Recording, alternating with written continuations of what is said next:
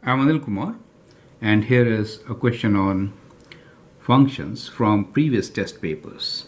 The question here is apply algebraic and graphic method to show that x squared plus y equals to 4 is a function but x squared plus y squared equals to 4 is not a function right so we need to apply both algebraic and graphic methods to show that so let us first do algebraic method, right? So we'll do algebraic method to show that x square plus y equals to 4 is a function, right? So we'll show that x square plus y equals to 4 is a function.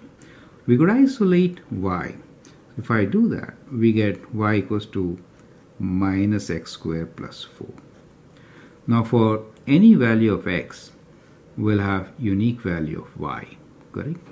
So for any value of x, we have unique y value. Is that okay? And therefore, it is a function. Now, we'll do the same thing for x square plus y square equals to 4 and see whether that is a function or not. So if I have x square plus y square equals to 4, let us isolate y. We get y square equals to minus x square plus 4 and y is equals to square root of minus x square plus 4. Whenever you do square root, you have to write plus and minus. Now clearly, that indicates that for many x values or the x values in the domain will result into two values for y. Do you see that? You can say if x equals to 0, in that case y equals to plus minus square root of 4 which is plus minus 2. So y have two values for x equals to 0. So since x equals to 0 is associated with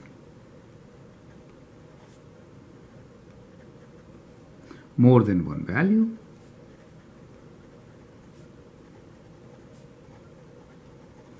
It is not a function correct? So that is how algebraically we can prove it. Now the second part is to show it graphically also. So let us do graphically so in doing graphically, what I will do is I'll just sketch the graph. So if I sketch the graph for y equals to minus x squared plus 4, how will it look like? Well, if x is 0, y is 4, and if x is higher, it is lower than 4. So it's a parabola which is kind of like this, with vertex at 0, 4, opening downwards. Now in this graph, if you draw a vertical line, it is always going to cross at only one point. So it passes vertical line test. And therefore, it is a function, correct? Now let's look into the second equation, which is x squared plus y squared equals to 4. Now that is equation of a circle, right? This is the equation of a circle with radius of 2. So it is kind of like this. So say y equals to plus minus square root of minus x squared plus 4 or it is a circle with the value of radius as 2, right? So here, if I draw a vertical line, it crosses at two points and therefore it is not a function. So that is the graphical explanation. And here if I draw a vertical line, it just passes at one point, you see that? So that is how you can show that these two expressions, one of them, the first one is a function and the other one is not a function using these two methods. I hope that helps. Thank you and all the best.